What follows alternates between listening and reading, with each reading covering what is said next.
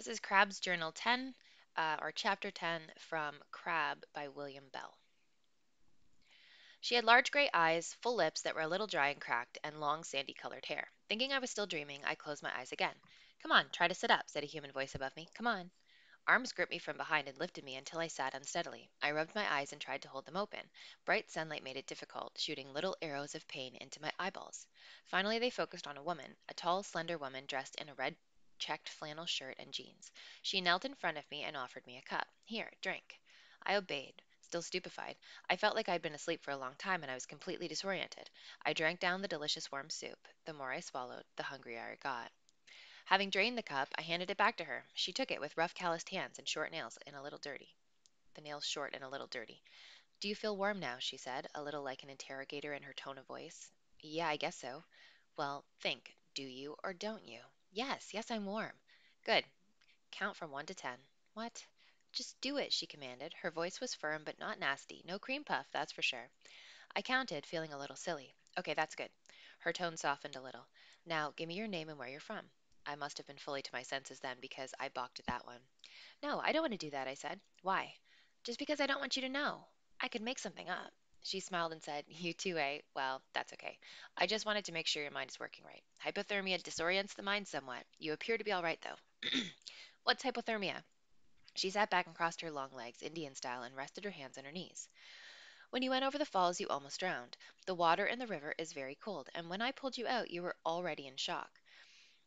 That's what hypothermia is really shock caused by cold, which lowers your body temperature. Eventually, it will kill you. Disorientation of the mind is one of the symptoms.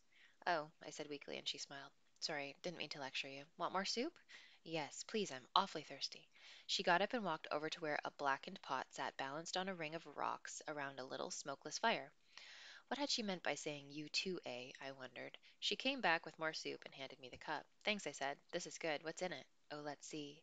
She folded her long legs under her and sat down again. Mmm, fish heads, flour, and some pork, lily root, and onion. You might think I'd throw up at that description, but that was the best soup I ever tasted. I was famished. It was hot, savory, full of ch- tasty chunks of potato tasting stuff. How did you find me? I asked. I don't remember anything after I went over. I had to shift my weight because I began to notice a pain in my chest now that I was fully awake. Putting my hand to my ribs, I saw my left arm was bandaged from elbow to hand and splintered with two round peeled sticks. Funny, as soon as I saw the dressing, which was bright blue flowery cloth, my arm began to throb.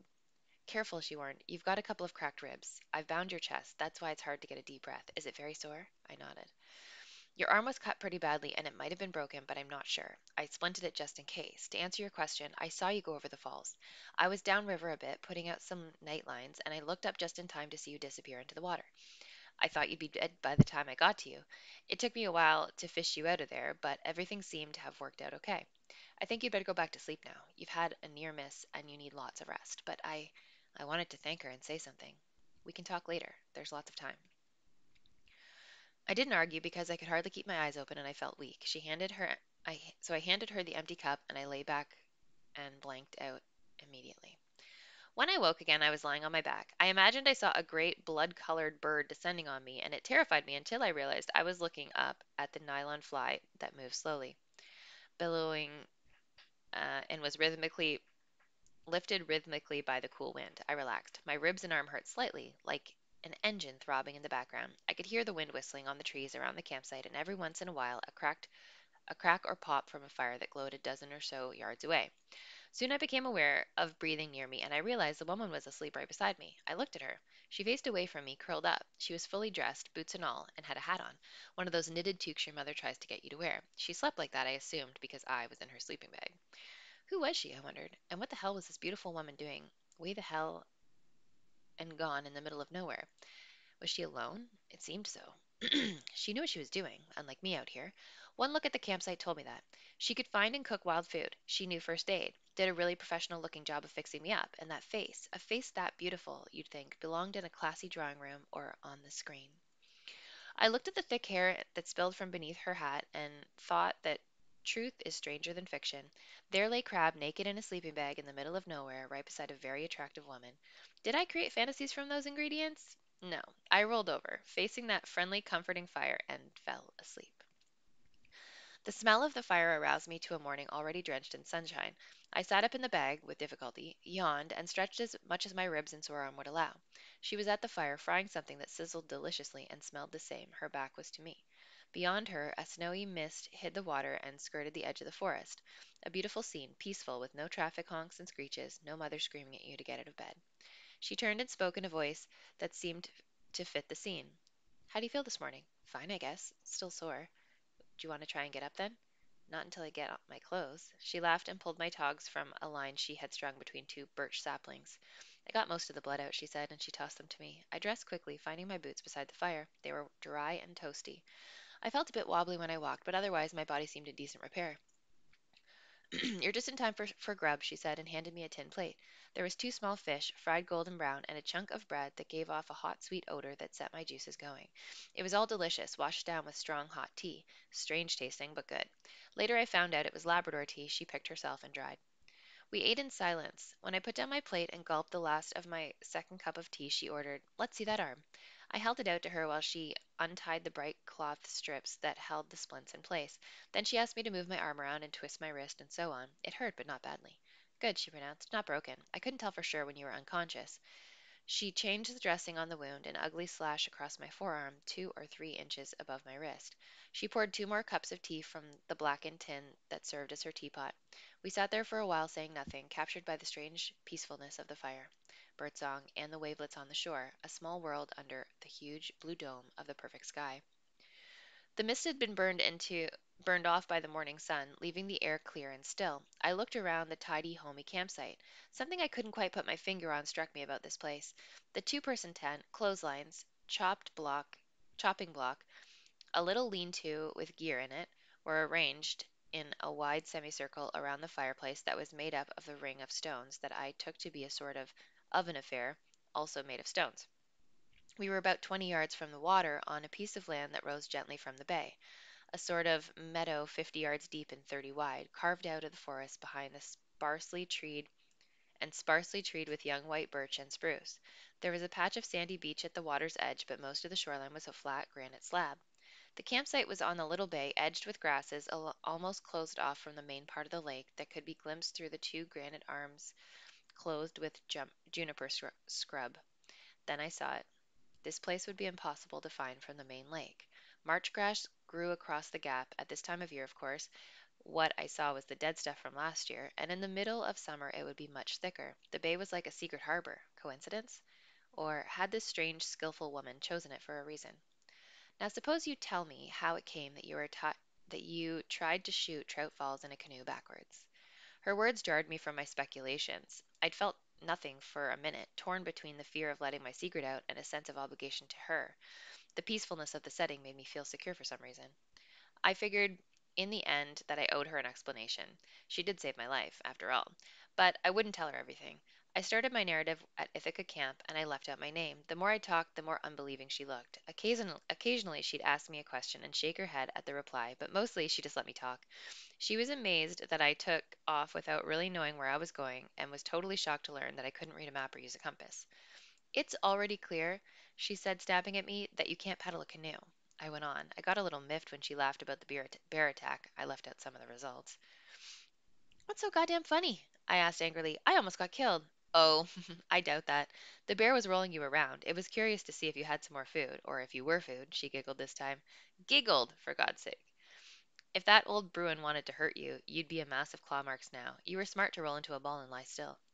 I'm not. sm- I wasn't smart at all. I was terrified, and then I fainted. Yes, I know. It must have been horrible.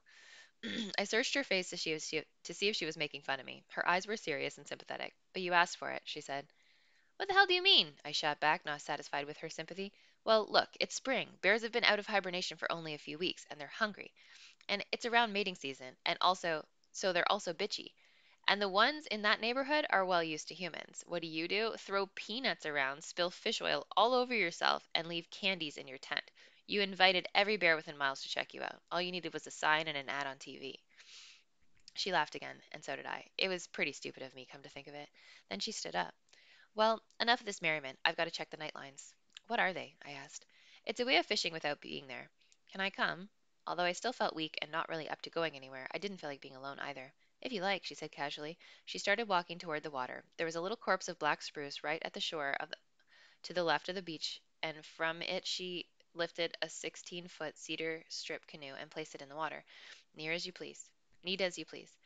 This was no weak woman, I tell you. She handed me a paddle. Put this at your feet. Don't try to paddle. You're too weak. In you get. In I got, and she stowed me how she showed me how to do so properly. She shoved off, and we headed out of the bay, across the open water, even through the marsh grass at the gap. Once out, I turned and looked back toward the campsite. I'd been right. The place was invisible. We were in a decent sized lake, and to the left of us a river, called the North, entered it. We moved up river past the dense spruce forest that marched right to the shore. The deep water reflected the flawless sky, and I'll tell you, that woman could handle a canoe. After twenty minutes of swift, straight progress, she got into strong we got into strong current. The water got shallower, and occasionally a menacing boulder stuck a finger into the air, but she just took that boat exactly where she wanted to go. The roaring of Trout Falls came upon us as suddenly as we rounded a bend.